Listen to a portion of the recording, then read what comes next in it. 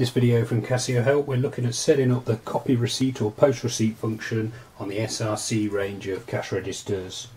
So all you need to do is to turn the key around to the PGM position, then arrow down to system setting, press CA amount end, and then enter free subtotal, which takes you into the right part of the programming menu.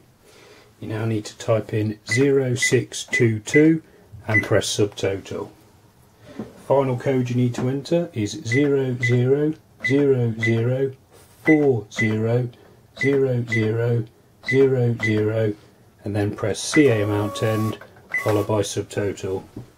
Now when we turn the key round to the reg position and enter a sale